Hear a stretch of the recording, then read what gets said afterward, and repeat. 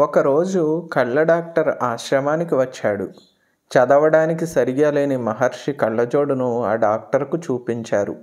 వాటిని పరిశీలించిన డాక్టర్ తన సొంత కళ్ళజోడు మహర్షి కళ్ళకి సరిగ్గా సరిపోతుందన్నాడు.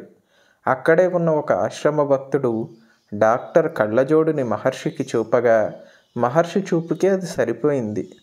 ఆశ్రమ భక్తుడు డాక్టర్ని ఒప్పించి డాక్టర్ కళ్ళజోడును మహర్షికి ఇచ్చి మహర్షి ఈ కళ్ళజోడును ఉపయోగించాలి అని కోరారు.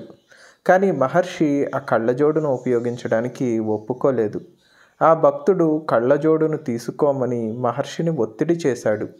అప్పుడు మహర్షి ఆ భక్తుని వంక చూసి హూ నేను వద్దన్న వాటిని తీసుకోవాలని అట్లా బలవంతం చేస్తావేమిటి? అని కోపంగా అన్నారు. మహర్షి హుంకారం చూసి ఆ భక్తుడు మాట్లాడకుండా వెళ్ళిపోయాడు. ఆ సంఘటన జరిగిన నిమిషం నుండి ఆ భక్తునిలో ఒక పెద్ద మంట ప్రారంభమయ్యింది. ఆ భక్తుడు ఏ పనిలో ఉన్నా ఆ మంట అతన్ని కాల్చేస్తోంది. ఇంకా ఆ బాధను భరించలేక భక్తులతో కూర్చున్న మహర్షి వద్దకు పరిగెత్తుకుంటూ వచ్చాడు. మహర్షి పాదాలపై పడి స్వామి నన్ను క్షమించి అనుగ్రహించండి. ఆ కళ్ళజోడు తీసుకోమని నేను మిమ్మల్ని బలవంతం చేసి అపరాధం చేశాను. నా మీద హుంకరించారు. తమ హుంకారం నా వెంటపడి కాలుస్తోంది.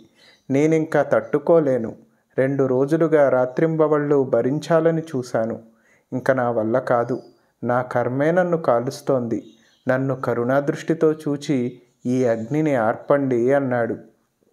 మహర్షి ఆ భక్తుని వంక చూచి ఏమిటి ఇదంతా? నాకు నీ మీద కోపం రాలేదే? గొడవ పడకు కూర్చో అంతా సర్దుకుంటుంది అన్నారు. ఆశ్చర్యంగా కొంత సమయంలో ఆ భక్తుని బాధంతా పోయి సంతోషంగా ఉన్నాడు. అక్కడి భక్తులు ఆనందించారు.